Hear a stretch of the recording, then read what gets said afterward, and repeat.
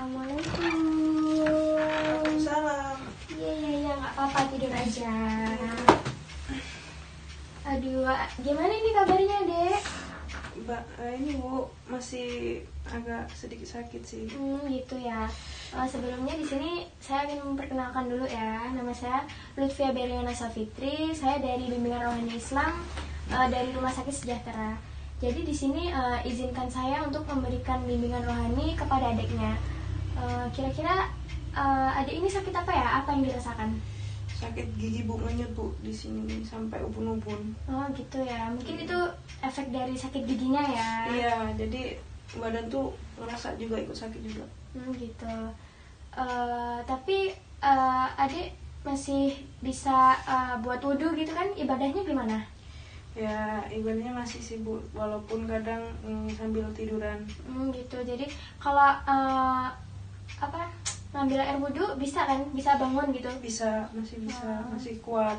Kan kadang Cuman kan pusing aja kepalanya. Hmm, gitu. Oke.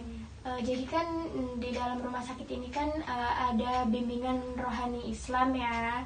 Jadi di sini saya eh, jelaskan terlebih dahulu eh, apa itu bimbingan rohani Islam. Bimbingan rohani Islam itu eh, adalah eh, bimbingan rohani yang diberikan kepada pasien agar mm, pasien itu bisa sabar, tabah dalam menghadapi semua cobaan yang telah diberikan oleh Allah Subhanahu wa taala. Eh, di dalam layanan bimbingan ini kita eh, mengadakan pertemuan setiap seminggu sekali ya, nah itu setiap hari Jumat. Eh, jadi sebelumnya tadi udah ada yang jenguk belum? Udah sih Bu teman-teman. Oh gitu, jengukin. iya iya ya. Eh, Oke selain ini apa yang dirasakan oleh adiknya? Apa cuma itu tadi gejala itu tadi? Iya, cuman badannya nggak enak, demam tinggi, Mm-mm, terus sakitnya pa- sampai eh, kepala eh, gitu sakit ya? kepala itu kayak urat tuh narik bu, Hmm gitu. Iya.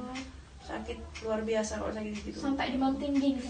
Iya, sampai semua itu ikutan sakit, Jadi badan-badan eh, semua, gitu. Hmm. Lebih baik ini ya sakit sakit hati, hati, ya, ya. daripada sakit gigi. Oke. Iya, iya, Lumayan itulah ya. bu, kurang lebih begitu.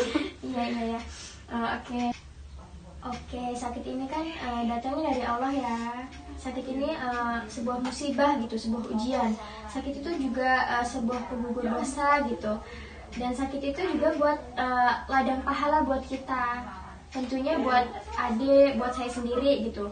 Kenapa Allah kasih kita sakit? Kenapa nggak orang lain aja gitu? Ya karena kan sakit itu kan datangnya dari Allah, kesembuhannya juga dari Allah. Jadi eh, adik dirawat di sini itu sebuah ikhtiar agar adik itu bisa cepat sembuh dengan perantara berobat di rumah sakit ini. Nah selain itu eh, kita juga harus tingkatkan ibadah kita, Eh, jangan tinggalkan sholat dan memohon ampunan kepada Allah. Eh, jadi gimana nih adiknya ibadahnya tadi bisa kan ya? Bisa bu, masih masih kuat. Masih rajin sholat ya alhamdulillah. Tapi kadang eh, ibadahnya sholatnya gitu sambil tiduran kan ya tadi ya? Ya kalau misalnya memang pusing nggak nggak lagi nggak kuat badannya buat berdiri, ya tiduran gitu ya, ya ya tiduran. baik nggak apa-apa ya. Yang penting eh, masih ingat gitu ya sholatnya masih ingat ibadahnya. Eh, baik di sini eh, saya ada bacaan doa ya untuk adiknya. Eh, lantunan doanya akan saya bimbing kepada adiknya langsung nanti Eh, baik saya akan membimbing adiknya agar lekas sembuh sebelum kita memulai doanya eh, ada baiknya kita memohon ampun kepada Allah ya Iya bu. Eh, ikuti saya ya bacanya Iya. Astagfirullahaladzim Astagfirullahaladzim. Astagfirullahaladzim Astagfirullahaladzim. Astagfirullahaladzim Astagfirullahaladzim.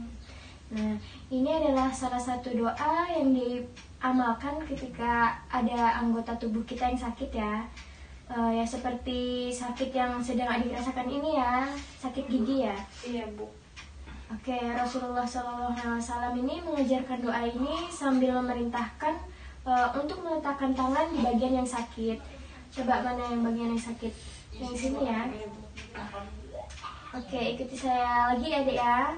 Bismillahirrahmanirrahim. Bismillahirrahmanirrahim. Bismillahirrahmanirrahim. Bismillahirrahmanirrahim. Bismillahirrahmanirrahim. Bismillahirrahmanirrahim. Eh, A'udzubillahi A'udzubillahi eh, wa qurratihi wa qurratihi min syarri ma min syarri ma ajidu ajidu wa uhadzir. wa uazir. Eh, nah, sudah ya. Oke. Nah, doa ini diriwayatkan oleh hadis riwayat Muslim. Eh, doa ini diba- dibaca sebanyak tujuh kali ya, Dik ya. Oke, Eh, baik. mm, bimbingan rohani Islamnya sudah selesai ya, Dek ya. Oke, semoga eh, lekas sembuh, lekas membaik ya. Semangat terus. Ya. Jangan tinggalin ibadahnya ya, jangan tinggalin sholatnya. Insya Allah. Eh, memohon kepada Allah agar penyakitnya diangkat, insya Allah eh, dengan izin Allah Eh, akan sembuh ya dan bisa melakukan aktivitas seperti biasanya. Terima kasih ya atas waktunya, Dek. Uh, saya izin pamit ya. Bu, makasih ya, Bu. Assalamualaikum. Iya. Salam dan